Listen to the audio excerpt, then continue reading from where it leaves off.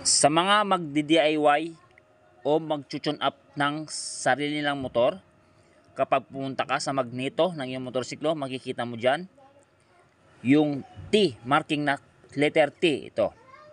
Yung tabi niya, letter F, ito yung T. Nakatapat sa marking, ito yung marking yan, yung guhit na yan.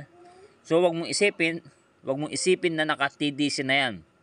Yan, wag kang magbase na naka-TDC na o naka-top dead center na yan. Kapag ginalaw mo yan, makalikot, yung magneto, pag ginalaw mo siya, at gumalaw, sumabay na gumalaw yung rocker arm niya, yan. Ibig sabihin, kahit nakatapat na yung letter T sa kanyang marking, hindi pa rin siya naka-TDC. So, ang gagawin mo, ikutin mo ulit siya ng 180 degrees. So, yan, itapat mo ulit siya, yung T, dito, sa may marking dito. Kapag ginalaw mo yung magneto at hindi gumalaw yung kanyang rocker arm, ibig sabihin, naka TDC na yan or naka top dead center na siya. Yun ang tamang pag ah, uh, TDC, pag timing dito sa magneto. Yan.